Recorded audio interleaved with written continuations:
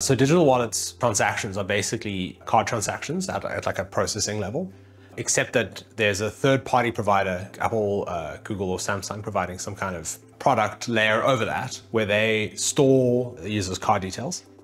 Um, and so many people are familiar with like tapping their phone uh, at a point of sale. There's like a card that's been stored in, inside the phone, and then that gets like exposed to make the transaction. So then at the time of making a wallet transaction, the user will select, say, to pay with Google Pay or, or Apple Pay or, or one of the different wallets.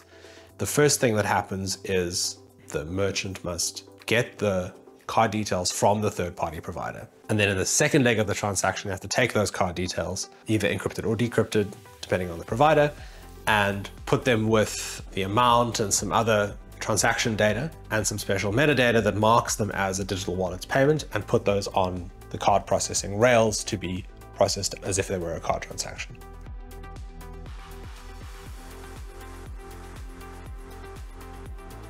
We provide all of the wallets that you want and the payment processing part kind of as part of a single integration.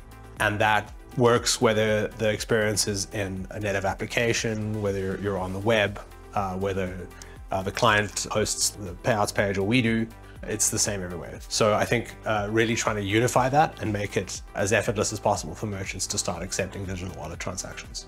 Stitch provides, as well as managing as much of the end-to-end -end process as possible, very good SDKs, documentation, support, and customer solutions uh, where we work with merchants to build the payments into their infrastructure perfectly. You know, we don't have a one-size-fits-all approach.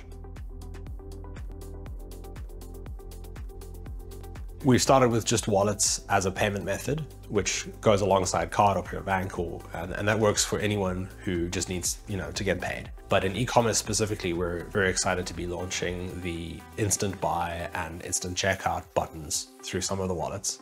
And because the users have already captured all of their like shipping information and other preferences in the wallet, it means we can kind of provide this seamless one-click experience, which we think is going to be super good for conversion for like our e-commerce and retail partners.